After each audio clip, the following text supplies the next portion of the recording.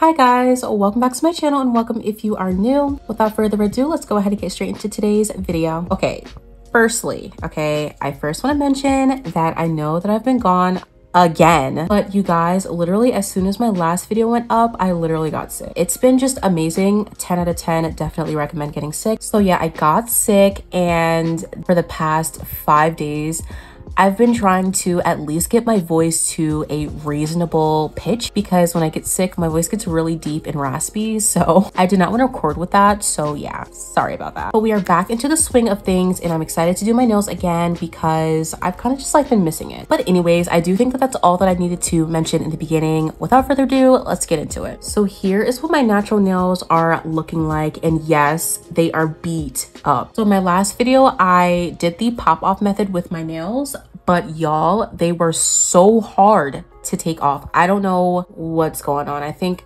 you know, that set is just cursed. That set, this set right here, she's cursed she has it out for me. Now, normally it's really easy for me to take off my nail sets. I just use a cuticle pusher and I kind of just like stick it underneath and I pop it right off. But that said right there, she did not want to come off and she wanted to play games. So now my nails look raggedy again. So yeah, that's what's going on. And of course my pinky is, she's trying. I did just clip her down a little bit because she was doing too much, but yeah, she's okay. But anyways, the first thing I'm going to do is start off by putting on my peel off base coat. And of course, for anyone who doesn't know, that is just a little bit of matte top coat and some cuticle oil. So as always, I'm just going to start off by putting a little bit of this cuticle oil onto my natural nails.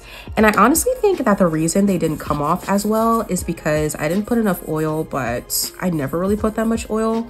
So I really don't know what happened. And as you can see, I'm making sure to rub this in really good because I really don't want these to pop off that easily. Oh, also, yeah, you can really see like what's going on with my thumb. Like I literally was peeling off layers of my nails trying to take those nails off.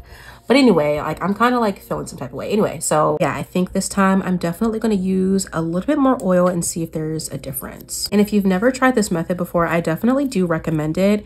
You will kind of have to play around with the ratio of oil to matte top coat because you really don't want to be in a situation like I was and your nails are not coming off and you're damaging your nails, but you also don't want it to come off super easily and you can't even finish your nail set. Okay, so I have the oil rubbed in and now I'm gonna go in with two layers of my matte top coat.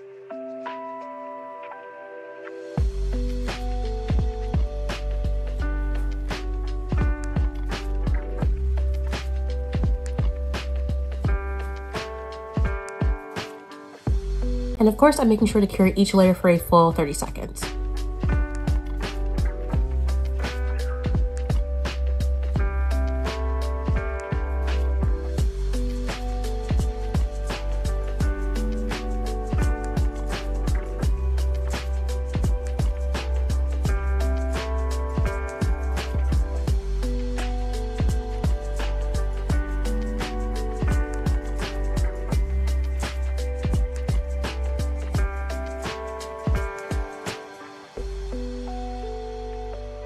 Right, so I have my matte peel off base coat fully applied and I also went ahead and sized out all of my nail tips for today. And to glue on these nail tips, I'm just going to go in with some base coat. Now for anyone who doesn't know, I only use base coat when I'm using my matte peel off base coat. And that's simply because I find it very hard to use regular nail glue, especially on top of this layer. It doesn't really stick too well. So I just like to go in with some base coat.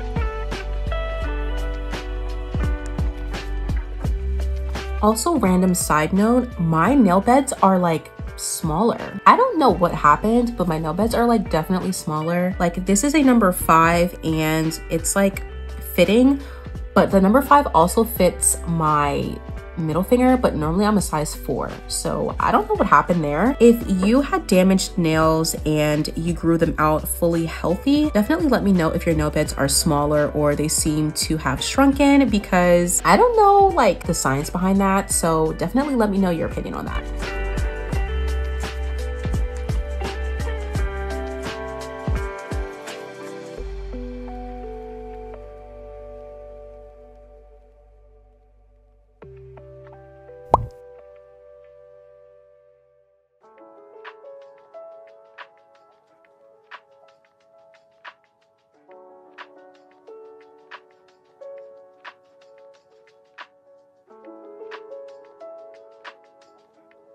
Okay, so now I'm gonna go ahead and take my tip cutters and just cut these down a little bit. And I'm really just gonna go at the length of my pinky because I do want these to still kind of be long. So I'm really just gonna be cutting off probably about this much.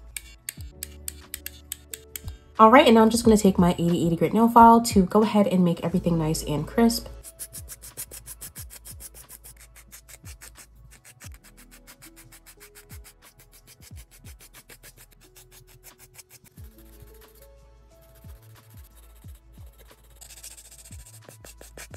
All right, so my nails are fully prepped and we're finally ready to move on to the application. But Before we do that, I actually need to show you everything that I have for this nail set. Okay, so this is everything that I'm gonna be encapsulating once I move on to the application portion. So I first have these flower petals that I'm gonna be using and I'm probably gonna be using these the most out of everything else. Next, I just have some gold flakes and I also have this like cat eye um, glitter gel polish and it's a really nice like lavender purple. And of course, I I just have the magnet to help me get that cat eye effect. Okay, so that's everything. Let me go ahead and move this out of the way and we'll get into the application. Okay, so to kick off the application portion of the video, I am starting out by doing a French tip and the color that I'm using for that is Valentino's Bad and Boujee mixed in with a little bit of clear acrylic. Now, if you can't tell, I'm going for a pretty deep French for today's nail set and I felt like it would work best for longer nails such as these, but even still, I really do love my deep French. Like anytime I'm doing a nail set with French involved,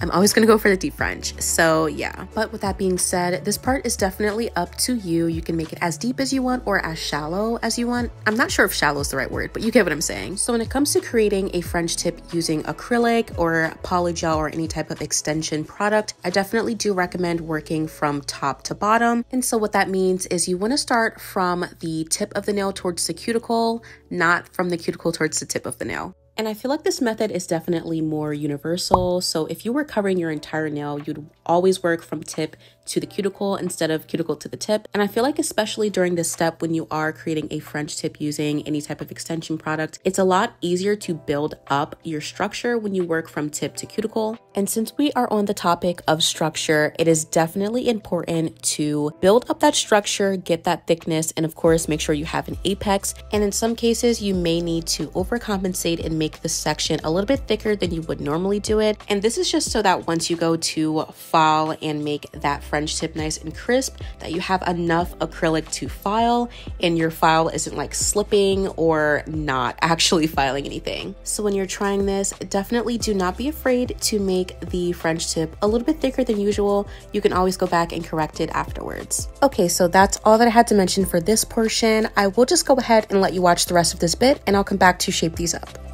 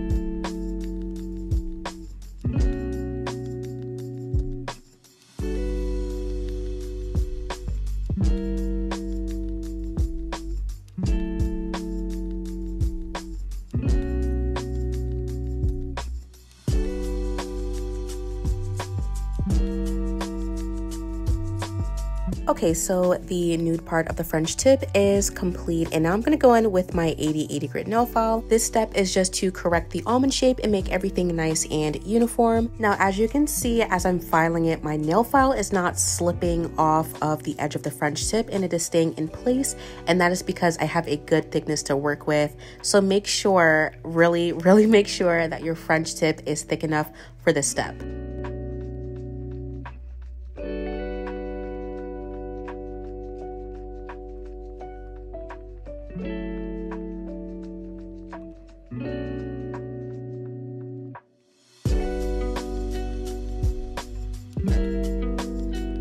So now I'm going to be going in with this glitter cat eye gel and to be honest, I did not really know what I was doing when I like first got into it. I even tried looking inside of the box that it came with to see if I could find instructions, but I couldn't find anything. So I was kind of on my own here and I had watched like tutorials in the past of people using the cat eye gel and the magnet, but for some reason mine just did not look that good. So yeah, it was definitely a struggle from this point on, but in the end I kept pushing forward and I got through it and I tried my best.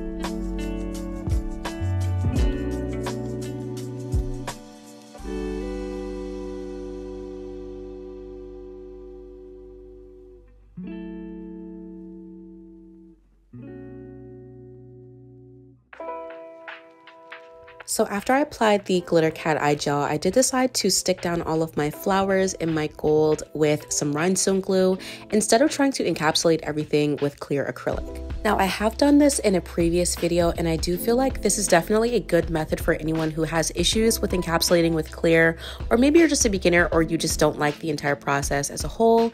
Because to be honest, trying to encapsulate stuff like especially gold and flower petals can be really annoying, especially if you're working with a very fast setting clear acrylic, or maybe you just decide to change your mind and switch around the positioning of whatever you're encapsulating. So I definitely recommend using a gel product because you have unlimited time to work with whatever you're working with and you can get everything placed exactly where you want it.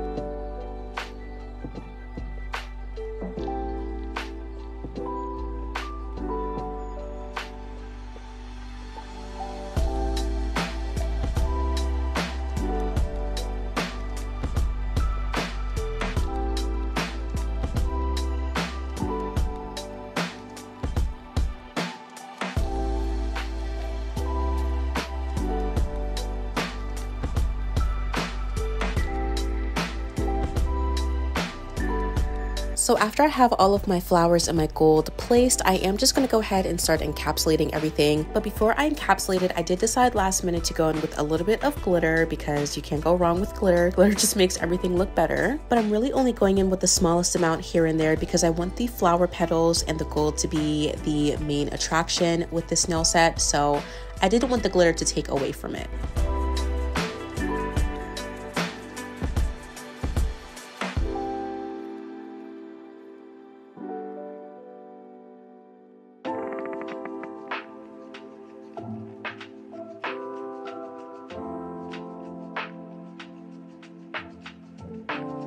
Okay, so now we are finally ready to go ahead and encapsulate everything.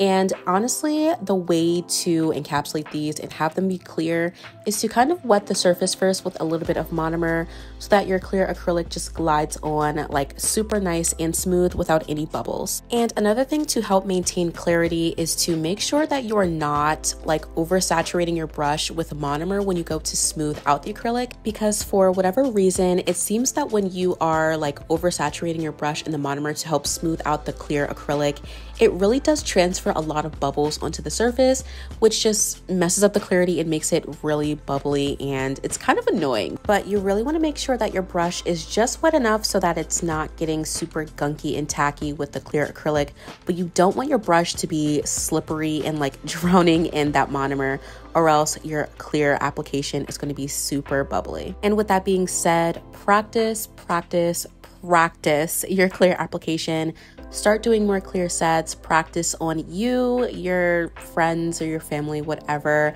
Definitely try and use clear more often and try and get that monomer to acrylic ratio down pat so that you can get a super clear application and you won't have to worry about like trying to cover it up. You know, because I've had situations where I've had to cover up super large bubbles because I just wasn't good at it, but definitely practice makes not perfection, but it definitely makes persistence.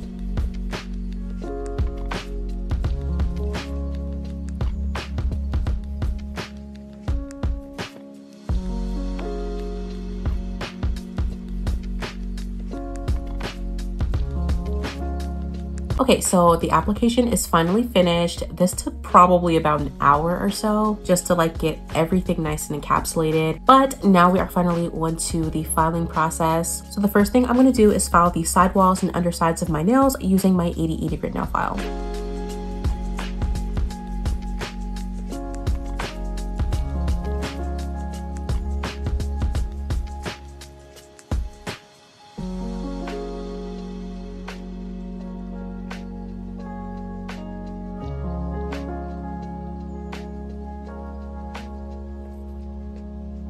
So here you can really see the difference that it makes just by filing these sidewalls. As you can see, my pointer finger is a lot more straight, whereas this one is a little bit kind of like wonky looking. And that's really because of the petals and all of the add-ons, but I really do recommend kind of straightening out the sides first so that you can really see what shape you're working with. Now, of course, the steps in which I file my nails are kind of up to interpretation, like you can kind of switch it around, but I just like to see what shape I'm working with first before I do anything.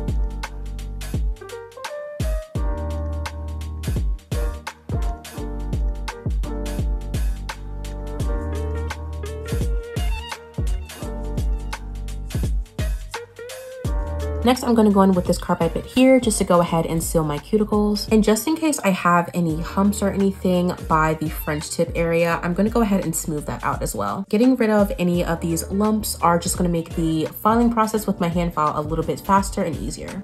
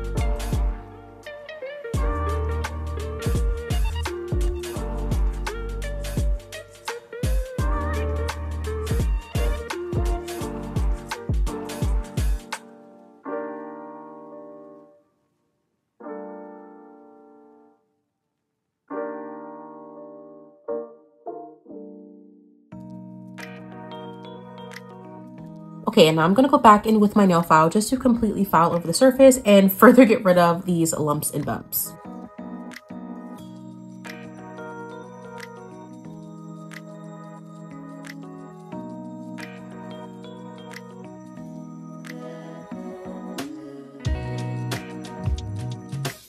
Okay, so now we have two nails that are officially down. My last nail set, the stiletto ones that I just posted, like those did not come off. But now the set is just like ready to go. I don't know what's going on. Like you need to chill out. I'm not done yet.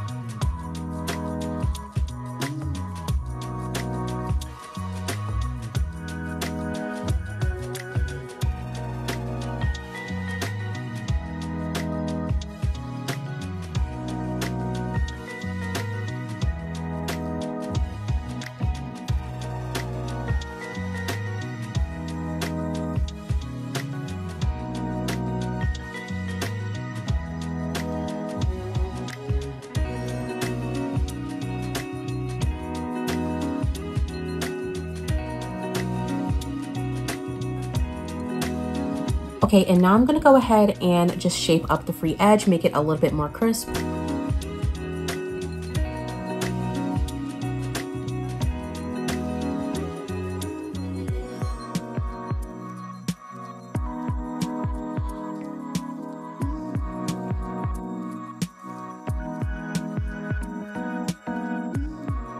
And now I'm gonna go back in with my carbide bit just to kind of thin out the C-curve.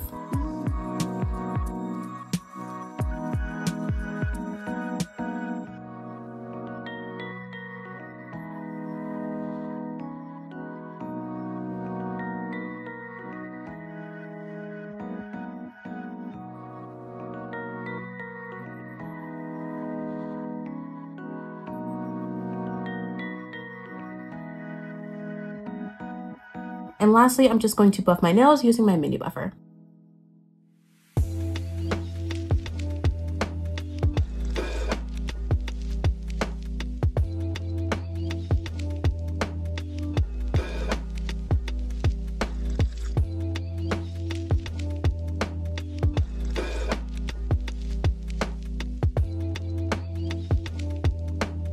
All right, so my nails are fully shaped. I'm going to just go ahead and wash my hands and I'll come right back. All right, so my hands are washed and we are ready to kind of finish up this nail set. Now, I'm really not gonna do too much nail art. I think I might just add some butterflies here and there because as you can see, there's a lot going on inside of the encapsulation and I really don't want these nails to be too busy. Okay, so I just have a few butterflies here and I'm gonna go ahead and glue them on using some rhinestone glue.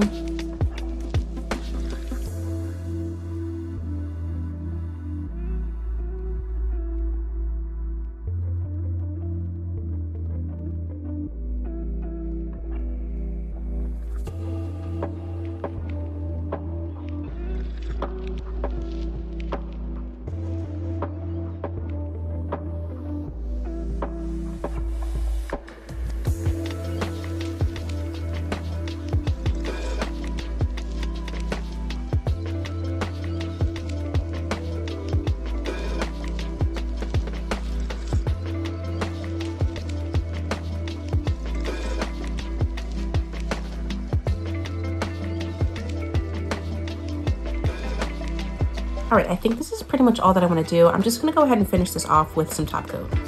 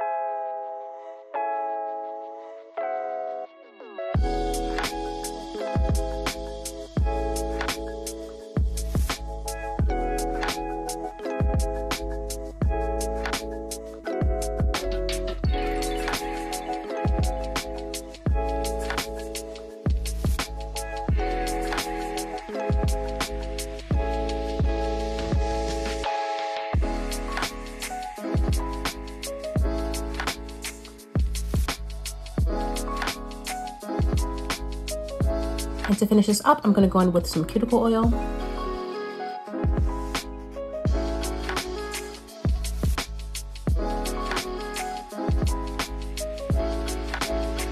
And that completes today's set. I really do hope you guys enjoyed this one. So this is my last official summer set of the year and I'm definitely ready to move into fall nails, so definitely do stay tuned for those coming up in the future. But even with that being said, I will really miss summer nails. I had a lot of fun doing a lot of my summer nails. I think these nails came out very, very beautiful. I am super, super proud of my encapsulation abilities and how they have improved over time. As you guys know, I have a difficult time using clear acrylic, but I really do think that I kind of redeemed myself over the past few uploads. So of course, I would love to hear what you guys think of this nail set down in the comments. Would you wear it even though it is kind of like the middle of September? I definitely do think that it still kind of works since it's technically still summer, but it's really up to personal preference. But as always, I want to say thank you guys so, so much for tuning in today, and I will see you guys in the next one.